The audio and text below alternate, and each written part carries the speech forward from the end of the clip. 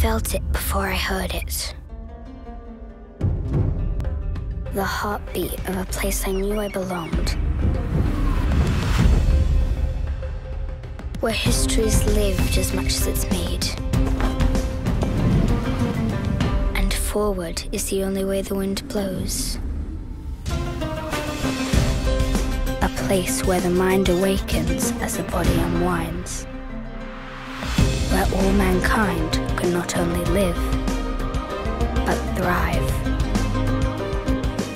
I am the flutter in your chest, the chill down your spine, the voice in your head answering every